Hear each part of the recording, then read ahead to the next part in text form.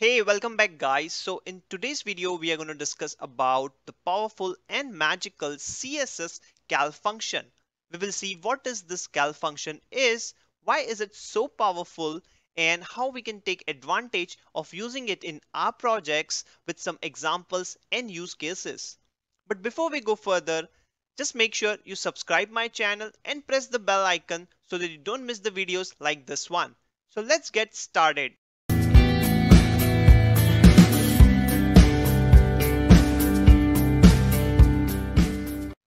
Alright guys, so I already have some of the boilerplate code for my HTML and CSS. I'm just going to give you a quick walkthrough. For the HTML, I have a container which has h1 tag and the with two classes box and the box one. For CSS, I have a universal selector removing the default margin and padding. I have used CSS variables here. Uh, if you don't know about the variables, I have a video on CSS variables. You can check out later on or you can just click on the card above and jump to it directly. But it's not required for this video. Uh, it's okay if you don't have because we are not going to use much variables in it.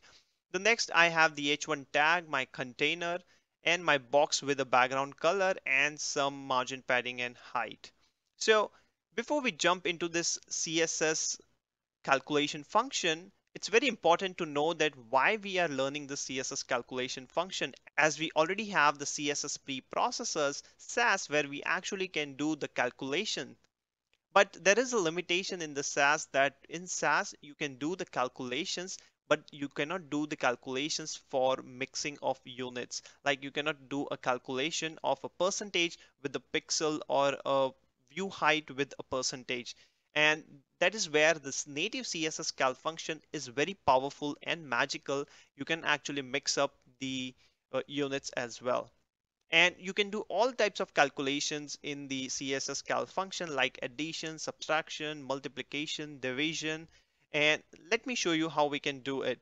So I have this box one and first I'm going to give a width to it. So I'm going to give a width of 500 pixel and if I give the 500 pixel of width, you can see that we get the 500 pixel of this box.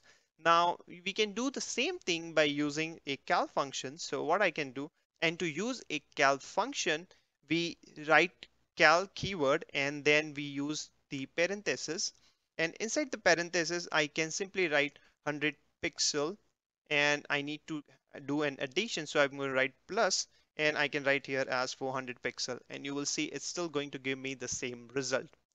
But one thing to notice here that when you actually use the calc function, you have to put a blank space between your values. Like if I miss this space, then it's not going to work.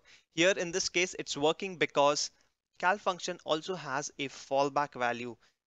Like if you have made some mistake in the calc function, then this browser is going to ignore this and if I actually remove this, then you will see that I'm getting a 100% width, which is not correct. So here I have made a mistake. And in case you made a mistake, you can actually give a fallback width, which will be utilized. So that's why it's very important to give a space here.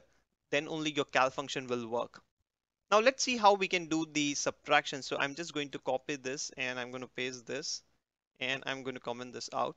So in order to subtract, let me subtract, I'm going to use a hundred percent here. So this time I'm actually mixing the units. So from the hundred percent, I want to subtract 400 pixel. So now after subtracting what the actual value will be, it's automatically going to calculate. I don't need to take care of it. So if I save it, then you can see that now the out of 100%, it has minus the 400 pixel.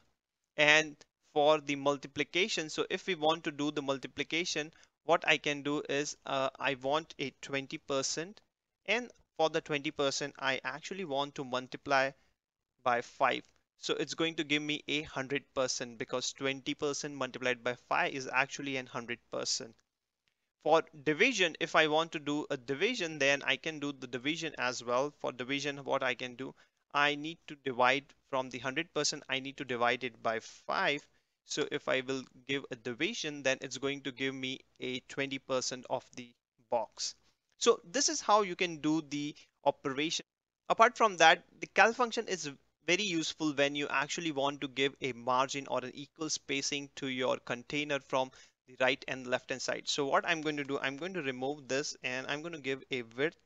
I'm going to use a calc function and this time we are going to use the variable which we have declared. So I have already declared a variable of width which is the 100 view width. So I'm going to use that. So in order to use the variable, you just need to use the var and inside the var you can actually use the variable name and then I'm just going to minus uh, let minus 20 pixel and I'm going to save it so now it's going to have a 100% view width and it will minus 20 pixel and this is very uh, useful when I actually want to get this container or the box in the center of my screen so now I can simply do the margin auto so if I do the margin auto, then you will see that now I get a proper spacing of 20 pixel uh, of 10 pixel on both the ends. So if I can also make this to 2 rem, then it's going to give me a 2 rem. And now if I actually expand my screen, the side margins, you will be very consistent in, in any of the screen device you want to view it because it will always going to be a calculative value. So if I want to nest it, so what I can do, I can actually write a calc here. And now I can just add it here one rem.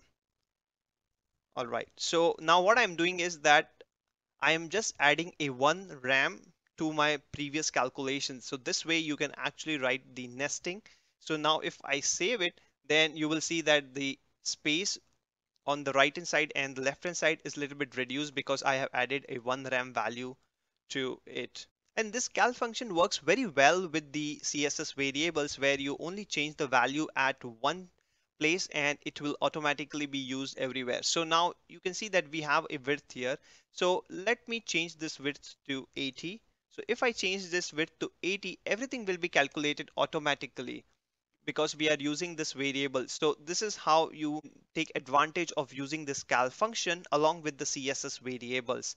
Let me show you one more uh, example where this is very useful. So this is how our website looks like right now. And what I'm going to do, I'm just going to add one more box here and I'm going to change this to two and I'm going to add a paragraph here and I'm going to give a lorem ipsum text. All right, so now I have an another uh, box which is having this lorem ipsum text.